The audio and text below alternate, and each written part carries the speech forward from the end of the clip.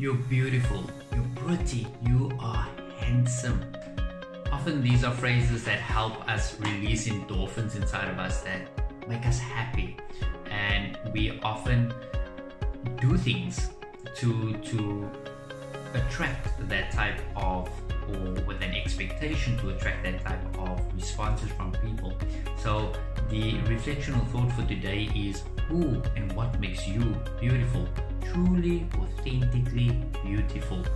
Is it makeup products? These are my wife's, it's mine. Is it your garments, the clothes that you wear, the car that you drive? That gives you that validation or the tools to attract certain responses. And I'm not saying that having makeup or using makeup or buying clothes or garments that you like or driving a car that you prefer that there's anything wrong with that. But if those are the tools or mechanisms that you need or require in order to elicit or attract certain responses out of an expectation and then you're disappointed if you don't get that expectation and wonder why, then this is probably an unhealthy form of emotional behavior um, where the authentic beauty lies and rests with you. It's up here. It's how you visualize or see yourself when you look in the mirror.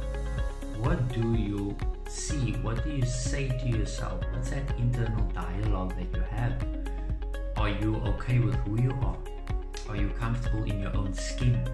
Or are you validated or confirmed through the responses of other people? And do you then go and find the tools and mechanisms to actually elicit or attract greater responses, which is, like I mentioned, the unhealthy aspect and behavior for validating and confirming your beauty, as opposed to it being up here. You telling yourself and you having that self confidence and self esteem to actually be present in a room and be comfortable with your own skin and presence.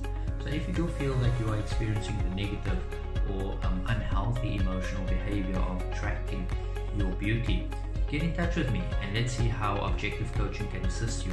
Remember, my free coaching webinar will be released quite soon, and the link where you can register to get your exclusive invitation to that webinar, and then also get in contact with me for your free first coaching session.